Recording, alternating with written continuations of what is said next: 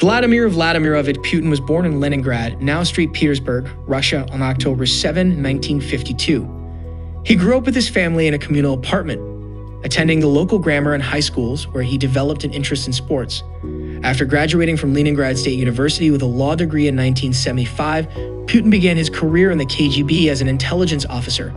Stationed mainly in East Germany, he held that position until 1990, retiring with the rank of lieutenant colonel. Upon returning to Russia, Putin held an administrative position at the University of Leningrad, and after the fall of communism in 1991 became an advisor to liberal politician Anatoly Sobchak. When Sobchak was elected mayor of Leningrad later that year, Putin became his head of external relations, and by 1994, Putin had become Sobchak's first deputy mayor. After Sobchak's defeat in 1996, Putin resigned his post and moved to Moscow. There in 1998, Putin was appointed deputy head of management under Boris Yeltsin's presidential administration. In that position, he was in charge of the Kremlin's relations with the regional governments. Shortly afterward, Putin was appointed head of the Federal Security Service and arm of the former KGB, as well as head of Yeltsin's Security Council. In August 1999, Yeltsin dismissed his prime minister, Sergei Stepashin, along with his cabinet, and promoted Putin in his place. In December 1999, Boris Yeltsin resigned as president of Russia and appointed Putin acting president until official elections were held, and in March 2000, Putin was elected to his first term with 53% of the vote. Promising both political and economic reforms, Putin set about restructuring the government and launching criminal investigations into the business dealings of high profile Russian citizens. In September 2001, in response to the terrorist attacks on the United States, Putin announced Russia's support for the United States and its anti terror campaign. However, when the United States' war on terror shifted focus to the ousting of Iraqi leader Saddam Hussein, Putin joined German Chancellor Gerhard Schroeder and French President Jacques Chirac in opposition of the plan. In 2004, Putin was re-elected to the presidency, and in April of the following year made a historic visit to Israel for talks with Prime Minister Ariel Sharon, marking the first visit to Israel by any Kremlin leader. Due to constitutional term limits, Putin was prevented from running for the presidency in 2008. Same year, presidential terms in Russia were extended from four to six years. However, when his protege Dmitry Medvedev succeeded him as president in March 2008, he immediately appointed Putin as Russia's prime minister, allowing Putin to maintain a primary position of influence for the next four years.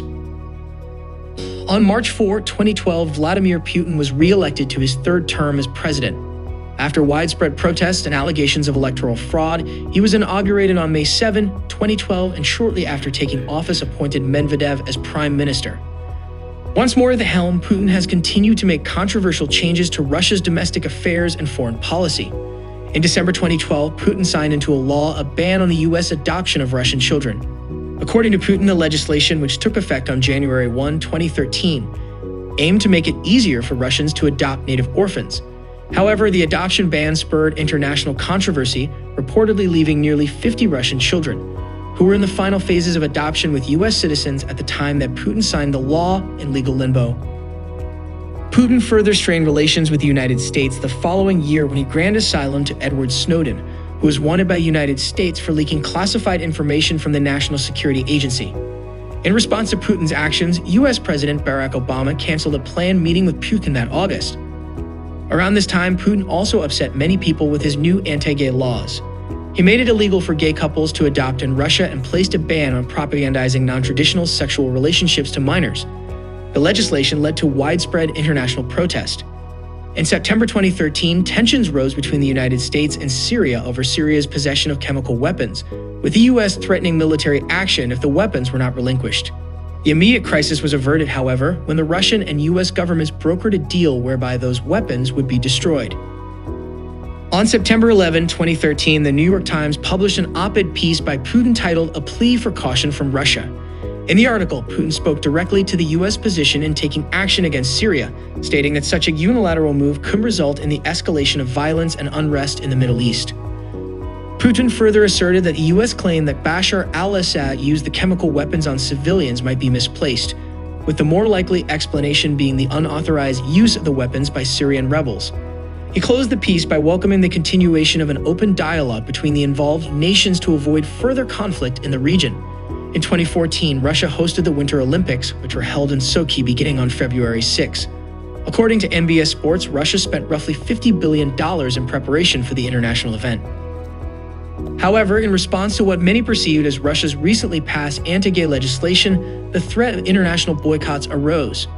In October 2013, Putin tried to allay some of these concerns, saying in an interview broadcast on Russian television that we will do everything to make sure that athletes, fans, and guests feel comfortable at the Olympic Games regardless of their ethnicity, race, or sexual orientation. In terms of security for the event, Putin implemented new measures aimed at cracking down on Muslim extremists, and in November 2013 reports surfaced that saliva samples had been collected from some Muslim women in the North Caucasus region.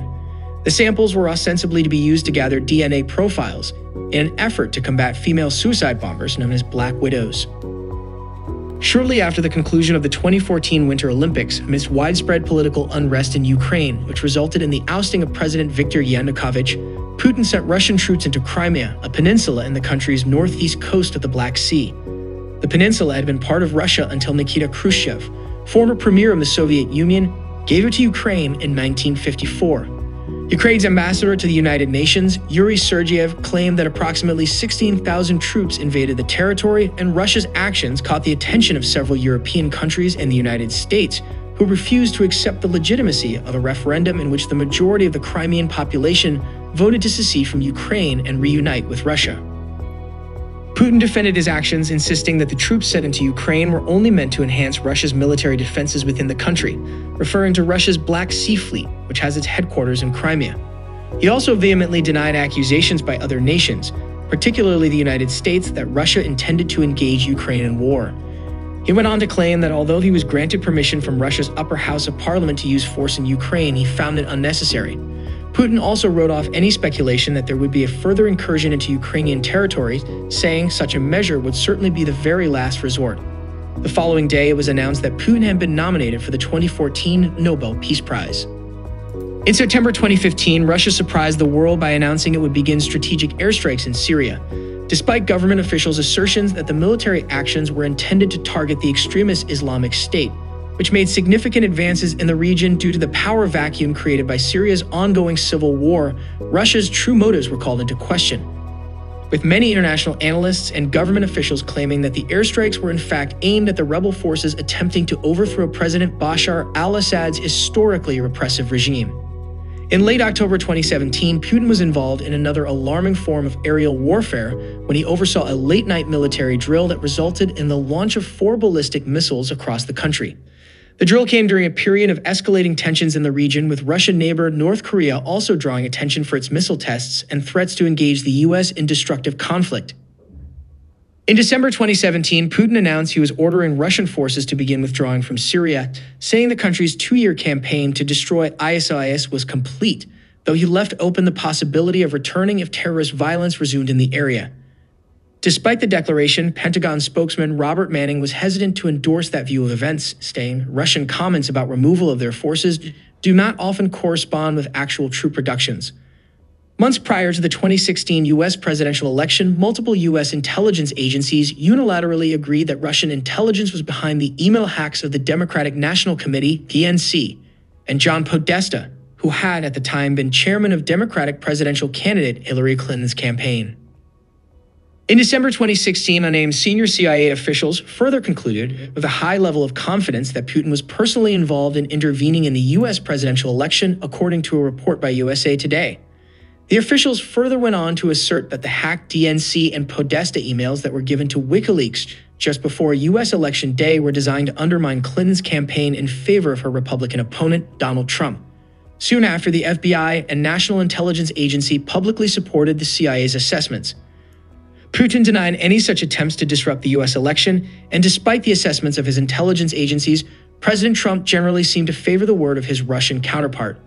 Underscoring their attempts to thaw public relations, the Kremlin in late 2017 revealed that a terror attack had been thwarted in St. Petersburg, thanks to intelligence provided by the CIA.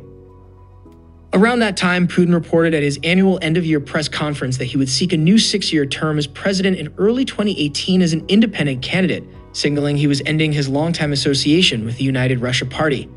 shortly before the first formal summit between Presidents Putin and Trump in July 2018, the U.S. Department of Justice announced the indictments of 12 Russian operatives on charges relating to interference in the 2016 U.S. presidential election.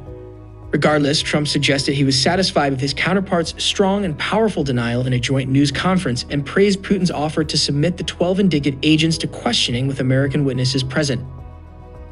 In a subsequent interview with Fox News anchor Chris Wallace, Putin seemingly defended the hacking of the DNC server by suggesting that no false information was planted in the process.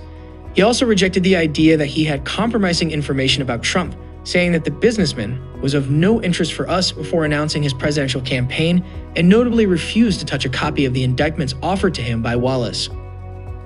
In March 2018, toward the end of his third term, Putin boasted of new weaponry that would render NATO defenses completely worthless, including a low flying, nuclear capable cruise missile with unlimited range and another one capable of traveling at hypersonic speed.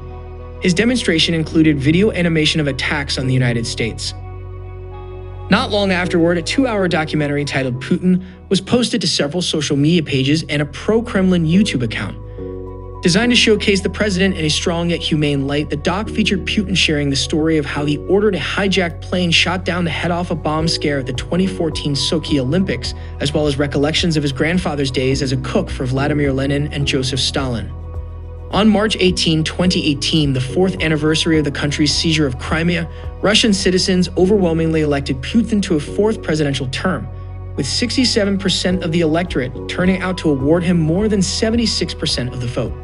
The divided opposition stood little chance against the popular leader, his closest competitor notching around 13% of the vote. Little was expected to change regarding Putin's strategies for rebuilding the country as a global power, though the start of his final term set off questions about his successor and whether he would effect constitutional change in an attempt to remain in office indefinitely.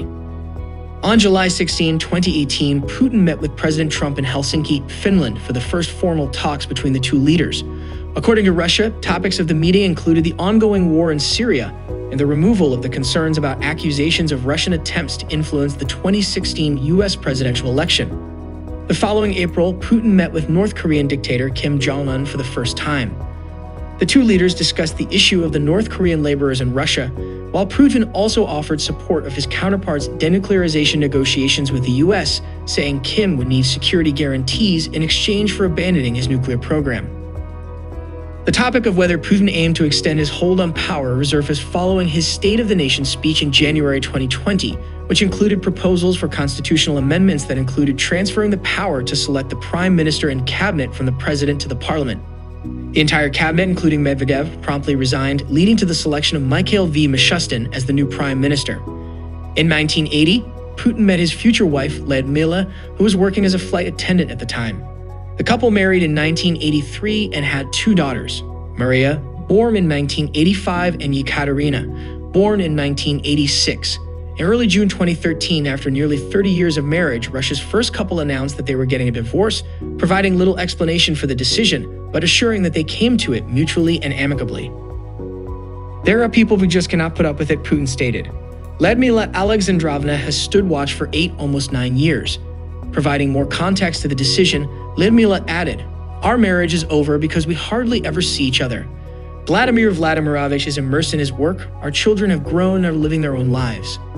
An Orthodox Christian, Putin is said to attend church services on important dates and holidays on a regular basis and has had a long history of encouraging the construction and restoration of thousands of churches in the region. He generally aims to unify all faiths under the government's authority and legally requires religious organizations to register with local officials for approval. If you liked the video, please don't forget to subscribe.